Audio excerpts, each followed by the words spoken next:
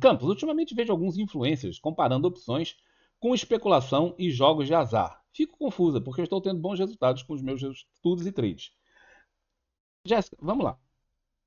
Associe a palavra influencer com imbecil. As duas palavras elas poderiam aparecer frequentemente na mesma, na mesma frase. Influencer, imbecil. É óbvio que há exceções. Mas, de uma forma geral, é, é, é uma frase que se, ela estaria bem posicionada se você, no chute, você acertaria.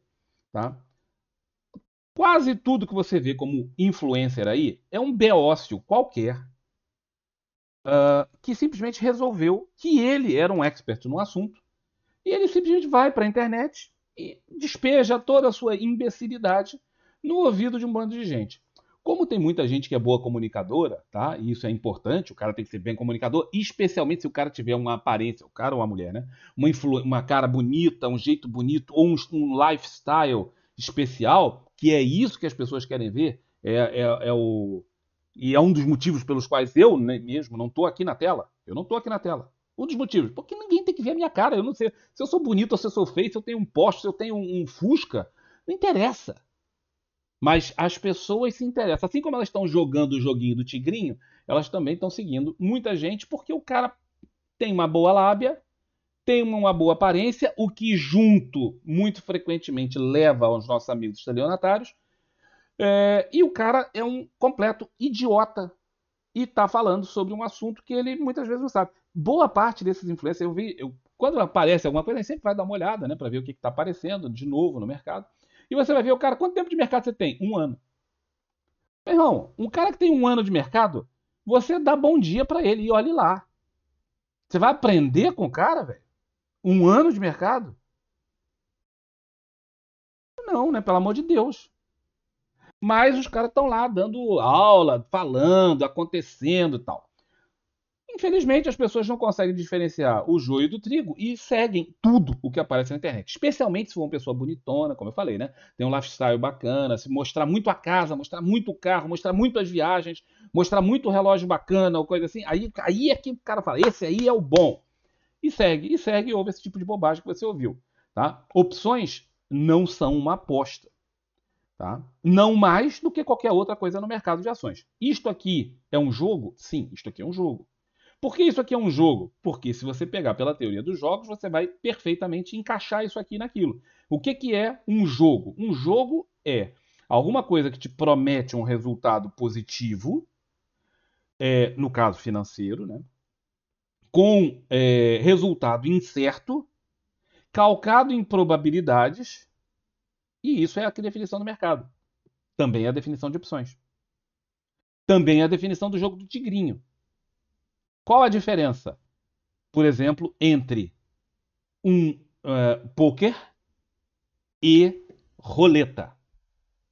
Ambos são jogos num cassino, não são? Poker e roleta. Você entra no cassino, quem já foi a algum cassino na vida, viu que tem lá a mesa de poker e tem a roleta, tem aquela maquininha que você fica slot, né, que você fica puxando, bota uma moedinha, fica girando aquele negócio. Qual a diferença entre esses dois jogos? É que um é um jogo de azar, que é a roleta, que é o slot, que são a, quase todos os jogos no, num cassino, aquele de, de dado e tal, e o outro é um jogo de habilidade, que é o caso do poker e também é o caso do blackjack. Nesses jogos que tem um componente de azar e sorte, claro que tem, porque depende de como as cartas vão ser distribuídas, né? Faz parte disso. Também o mercado, e eu já até mencionei recentemente, o cara não pode ser um azarado desgraçado, porque se for, não adianta. O cara pode fazer o melhor analista do mundo, mas toda análise que ele faz é certa, mas dá errado antes de dar certo. O cara vai perder dinheiro. Então, alguma sorte faz parte do jogo. Mas um jogo como o poker ou o blackjack, ele é um jogo de habilidade muito mais do que de sorte. Ele exige estratégia, exige tática exige conhecimento para o cara saber quando ele vai participar, quando ele não vai participar, quando ele vai participar com muito, quando ele vai participar com pouco. E essa é a diferença entre o Zé Beócio, que entra num cassino com dinheiro, senta na mesa de pôquer e perde tudo, e o cara profissional que senta na mesa de pôquer e ganha dinheiro. Infelizmente, as pessoas entram no mercado com o espírito cassino. O cara entra aqui exatamente com essa ideia. Eu vou botar uma grana aqui, isso aqui é muito fácil, né? É só ou sobe ou desce, não tem muito o que fazer. Ou isso aqui sobe ou isso aqui desce. Então você tem, teoricamente, 50% de chance de acertar o que você vai fazer. Só que não é bem assim. Também não é assim no poker. Não é falar assim, ah, se vier a carta eu jogo. Não, aquilo tem toda uma estratégia. Eu, pessoalmente, não sou um jogador de poker. Já joguei, mas assim, com amigos, né, sem valer dinheiro. Não gosto de, não gosto de jogos de dinheiro, já de antemão, é uma característica minha. Não gosto, não faço. mas nada contra, quem quiser fazer que faça. Mas poker é um jogo espetacularmente de estratégia. Seria como você dizer que xadrez é um jogo de azar. Não, xadrez não é um jogo de azar. Tá? Poker também não. Poker envolve algum azar e sorte que o xadrez não envolve, né? Claro. Xadrez não tem um componente aleatório, poker tem. Mas é, se você for o jogador, um jogador realmente bom em poker, você vai ganhar dinheiro. Como também se o cara tiver controle de risco no mercado e controle emocional, que o cara também tem que ter no poker, você também ganha dinheiro no mercado. E também nas opções. Opções estão mesmo muito longe de serem um jogo de azar. Tá? A pessoa que fala esse tipo de coisa é um imbecil ou pode ser um imbecil com agenda, então muitas vezes é, é um imbecil com uma agenda. Qual é a agenda? Ele está propagandeando outra coisa. Ele tem um interesse de é, te jogar para alguma outra coisa. Esse muitas vezes é um imbecil, ou ele não é um imbecil e só tem a agenda. Tá? É muito comum também o cara estar tá ali sendo patrocinado por um troço desse, um negócio desse, e é, vai ali para tentar convencer as pessoas a fazerem isso, jogarem, fazerem e tal, como se jogo, ainda mais na internet. Cara, qual é a probabilidade de você, no final das contas, ganhar de um cassino num jogo de azar? Ela é remota ou basicamente zero. Você pode ganhar uma vez ou duas, mas por que, que os cassinos são gigantes, multibilionários e vocês não são? Vocês, os jogadores que vão ao cassino. Você conhece algum jogador é, de roleta, não sei o quê, que tenha grana? São todos uns miseráveis, cara. São todas umas pessoas desgraçadas sem grana. Por quê? Porque o cara vai lá na, na, na ideia de que ele vai ganhar do, do cassino. Não vai. Não vai.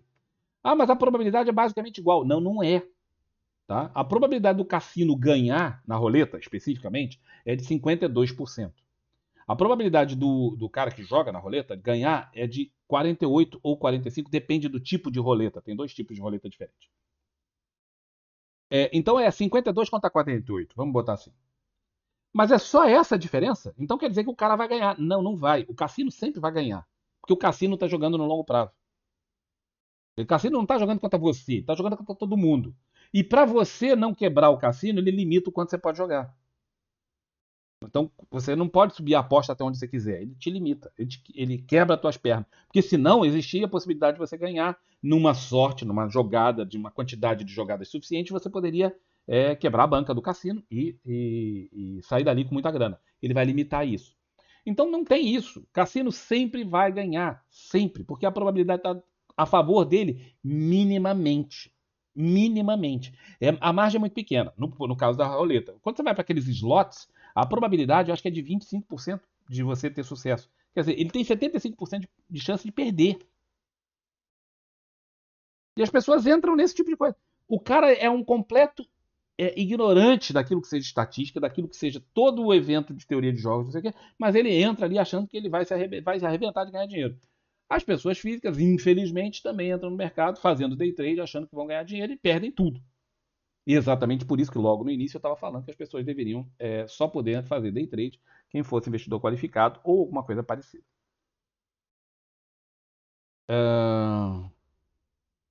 Bom, então uh, a Jéssica teve aí uma resposta um pouco longa, mas não, a imagem está tudo funcionando tal.